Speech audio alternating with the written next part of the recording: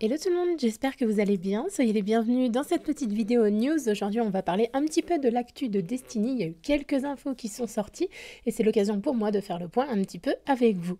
Donc déjà, premières infos, celle de la This Week at Bungie qui est sortie cette semaine. Donc ça y est, la quête du fardeau d'Izanagi est enfin patchée. Vous allez pouvoir sortir vos moules de clés, terminer la quête et ça, c'est une bonne nouvelle.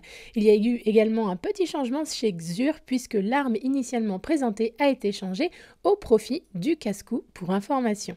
Il y aura également un boost d'infamie à partir du 12 novembre, toute la semaine, c'est-à-dire jusqu'au 19 novembre, et ceci à partir du reset, c'est-à-dire à partir de 18h. Ce boost d'infamie vous permettra donc de looter en x2 dans le Gambie. Un nouveau défi de raid également sera disponible à partir du 12 novembre à 18h.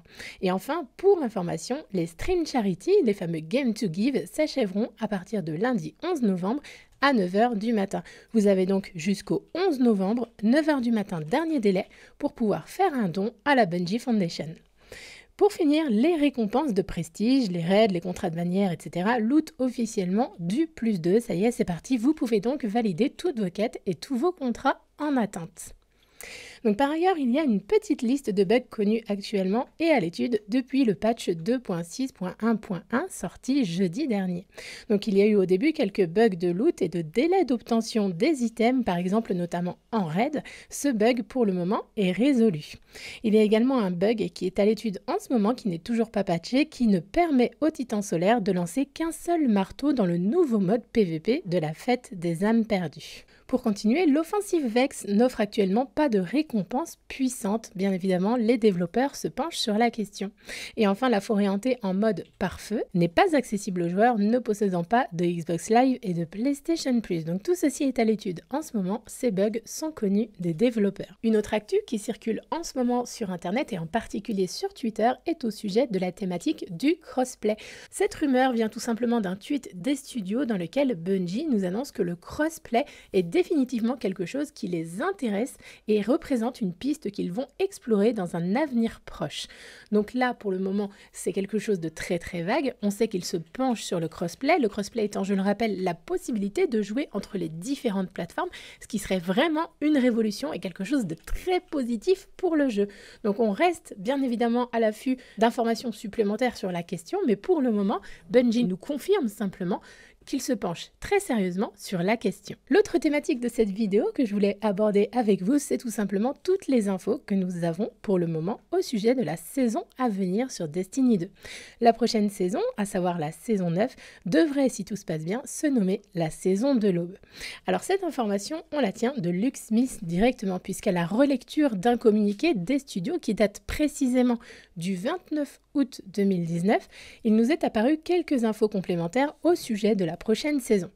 Donc dans son discours, dont je vous mets les extraits actuellement dans la vidéo, Luke Smith reprend les grandes lignes de ses précédents Director Cut.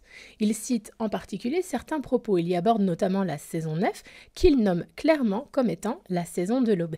Et il nous explique au passage que quelque chose ou quelqu'un survivra à notre actuelle saison, c'est-à-dire la saison 8, à est la saison des éternels. Cette entité, ce quelque chose, sera cette chose qui amorcera la saison suivante, qui représentera la transition. La question que nous devons donc nous poser, c'est qui ou quoi serait le plus susceptible de matérialiser le mieux la thématique de l'aube dans le jeu si cette saison s'appelle bien la saison de l'aube. Donc je vous laisse bien évidemment me proposer vos idées, vos réflexions face à cette question et on va parler ensuite de la date de sortie supposée pour cette saison de l'aube puisque lorsqu'on inspecte un peu plus en détail le pass actuel de la saison des éternels, on peut voir qu'il reste une trentaine de jours environ, juste en dessous du titre de la saison. Alors en vérité, cette date n'est pas officialisée, mais cela nous permettrait de déduire en théorie que la prochaine saison devrait avoir lieu le mardi 10 décembre prochain à partir de 18h.